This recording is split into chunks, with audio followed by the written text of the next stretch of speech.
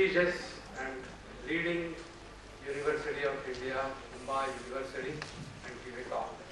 In an interesting coincidence, this is my second talk on the campus. It was only a few months ago, to be exact, on 26th of February this year, I was invited by Professor Mugdha Karnik to give a talk on topic that we have been debating again and again and again ad nauseum, as we say sometimes.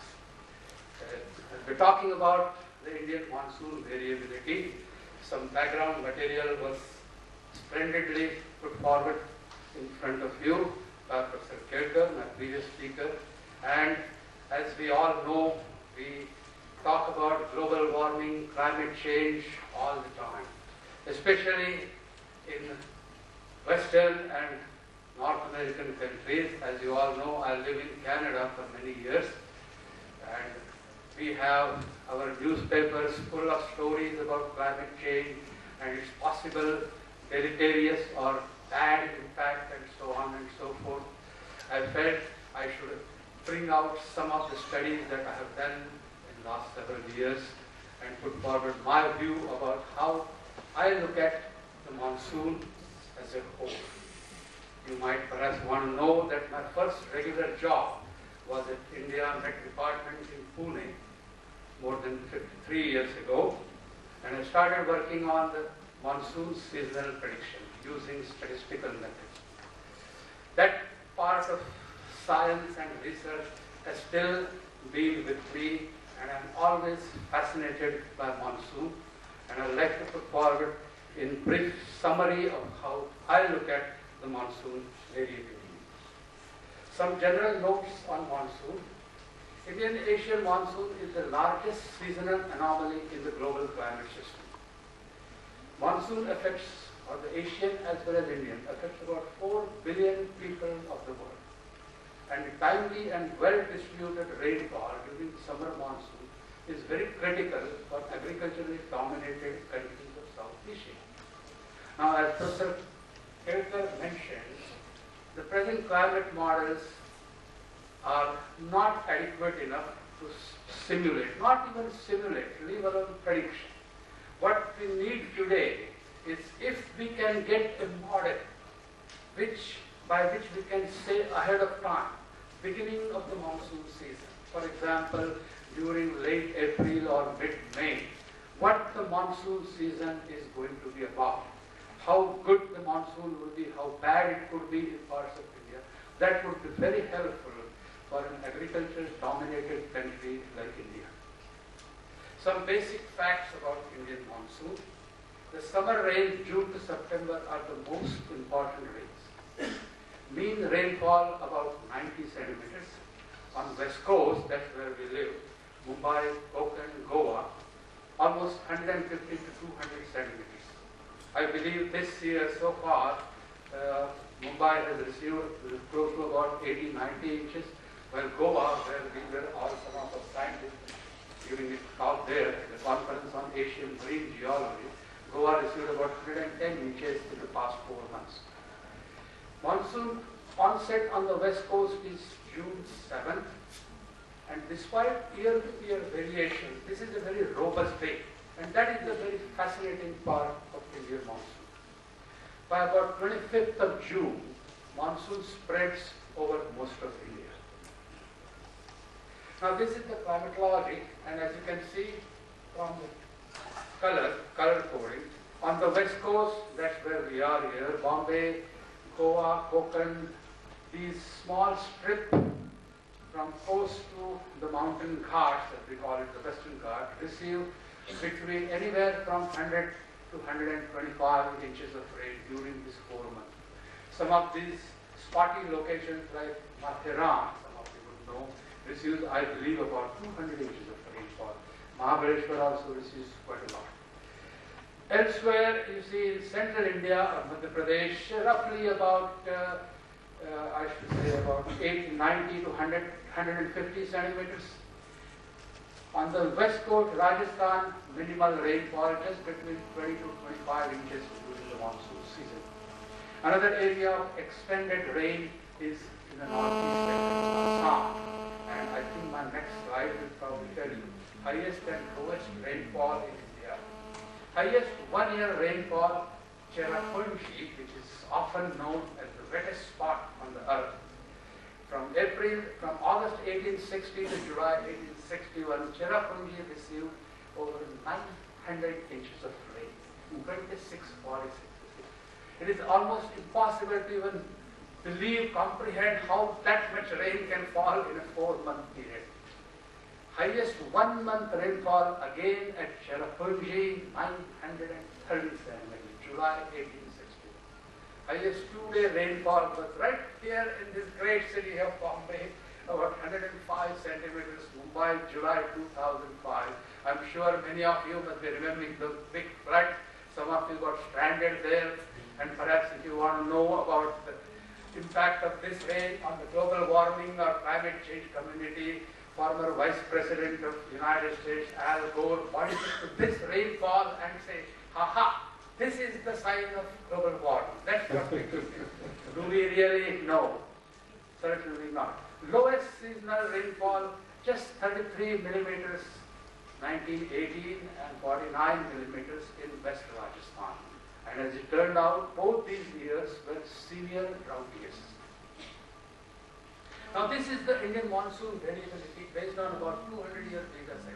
And as, it can, as you can see, it shows irregular occurrences of droughts and floods. Major droughts and floods 1813 to 2010, one of the best data sets available in the world. As you can see, floods, there were about 9-10 major floods. The mean rainfall for the flood monsoon was about 1,041 millimeters. For droughts, there were many more droughts than floods. Mean rainfall 739 millimeters. Large-scale controls of the monsoon. I could put out various slides and flow patterns, but time does not permit me to go into all these details. So I will just list some of the most important large-scale circulation that we have identified in the last 30, 40 years. ENSO stands for El Nino Southern Oscillation. Many of you must have heard this. That is in the equatorial Pacific and it is found that that impacts Indian monsoon.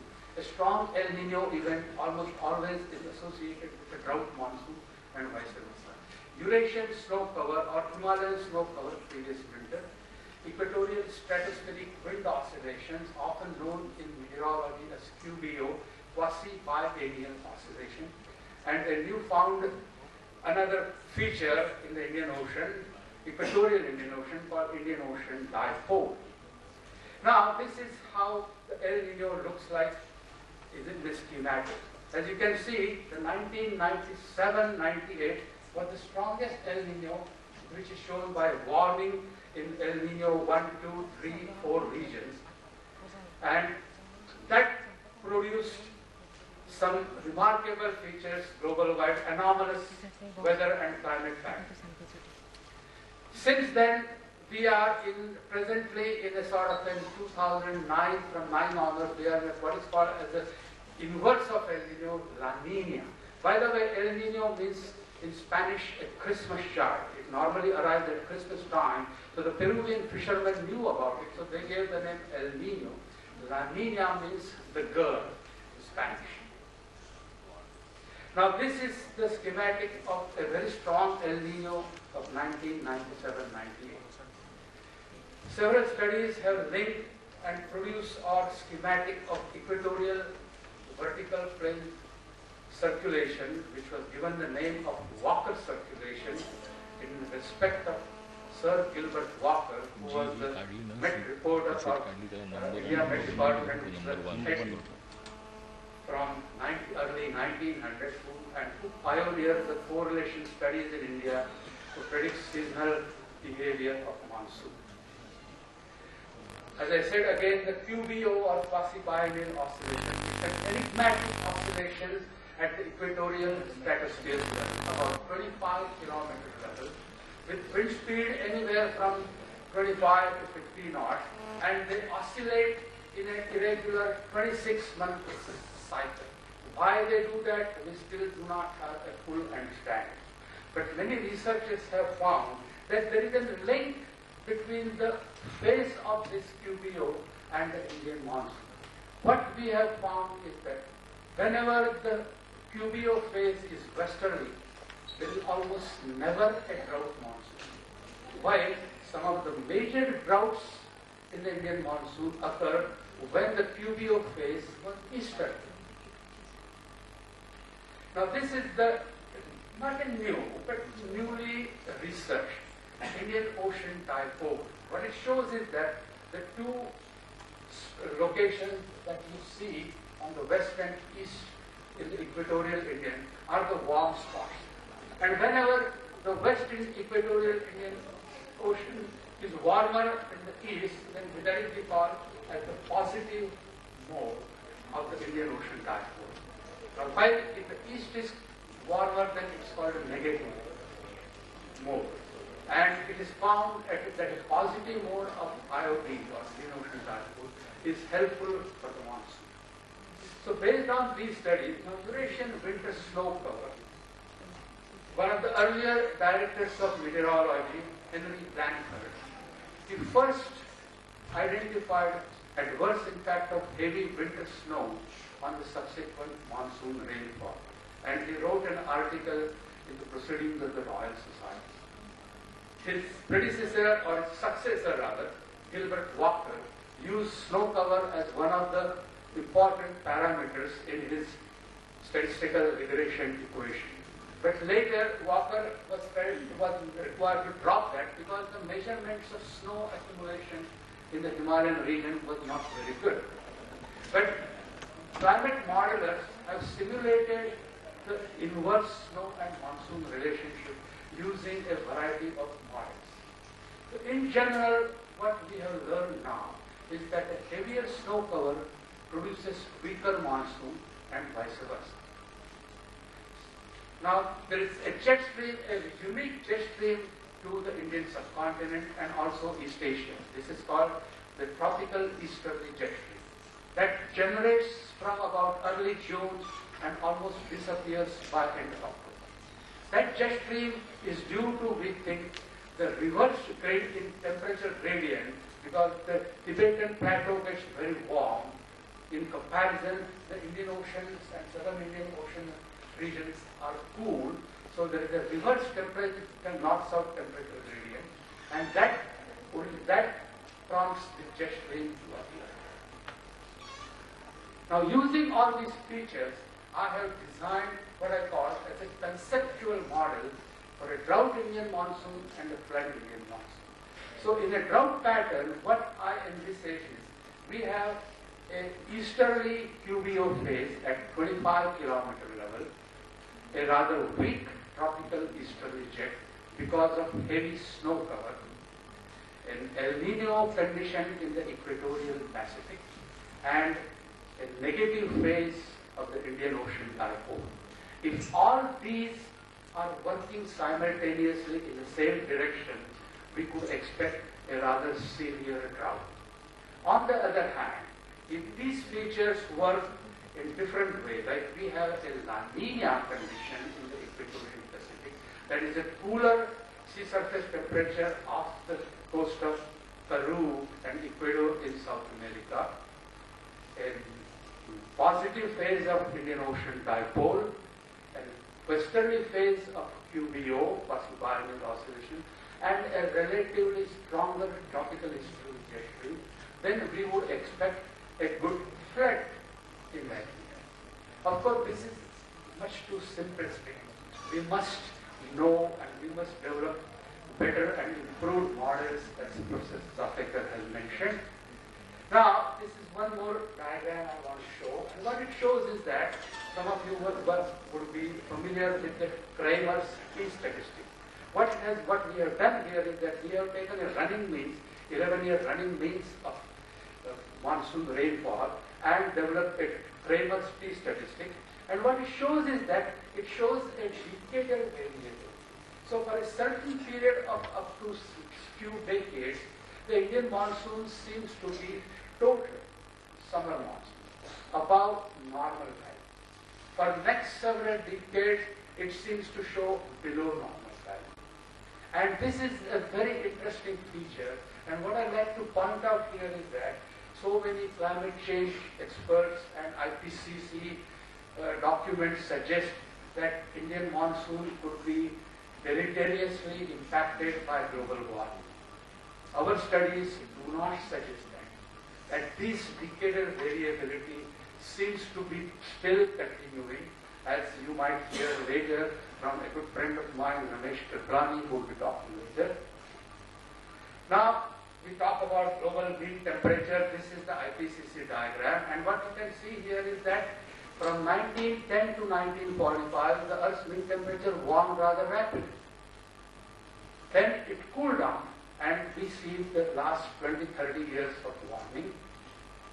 And look at summer monsoon variability between 51, 75 versus 81, 2005. What we find is very interesting. During 51 and 75, we had four major floods, three droughts, and the mean rainfall 917 millimeters. From 21 to 25, 2005, where most climate models have been saying that monsoon will be intensified. Indeed, what do we have? In reality, just two floods, four droughts, rainfall 888 millimeters. So 12 years of below normal rainfall in the last 30 years. So in reality, the Indian summer monsoon and by extension Asian monsoon has weakened in intensity and circulation and we do not fully understand why. Now let me show you monsoon 2009. As you all know, it was one of the severest drought condition. If you see 2010, just a year ago, it was almost a flood monsoon. As you might have read or known or still recall, Pakistan had major floods, lots of uh, fatalities, and uh, almost 2 to 3 billion people were affected by that. And interestingly, both all the climate models for 2009 as well as 2010 predicted a normal monsoon in the month of April. What happened in reality? A normal monsoon prediction turned out to be a severe drought for 2009 A normal monsoon prediction for 2000 turned out to be close to a flood monsoon. So what this points out is, this points out the challenging aspect of Indian summer monsoon. I like to make some quick conclusion. Indian monsoon, as I see it, is a robust system and its interannual variability is covered by large-scale atmospheric ocean parameters. Droughts and floods have always occurred in the Indian monsoon and will continue to occur, global warming notwithstanding. Indian monsoon appears to exhibit a decadal variability with approximately 30 year period above and normal below rainfall. Indian monsoon and by extension Asian monsoon does not appear to be impacted at this time by this modest warming as we call it and global monsoon conditions and have shown Indian and global monsoons have in fact declined. A conceptual drought flood monsoon that I have shown to you and also a good climate model, the Kyoto Convention, would help India to develop, to make better planning of their agricultural needs and agricultural planning. I think that's about all I have to say. I might just make a small remark. I'd like to remember Professor Zafekar's comment in the first speech, and when he mentioned that we might should be worrying not so much about global warming, but about global cooling. That many solar scientists are saying it might be upon us. A very good friend of mine very soon will be talking later. And just a couple of days ago, there were several articles in London newspapers saying that Europe and UK be bracing for little ice age. Last little ice age occurred between 1650 and 1700, around the time of our great leader Chhatrapati Shivaji, who was conquering on the Konkan. And are we coming back into that greater ice age? Just a thought. Anyway, I uh, thank you again. I thank you, thank Buddha and Varun for making some excellent arrangements here. Thank you once again. My privilege to be here to provide my assessment of the Indian Council.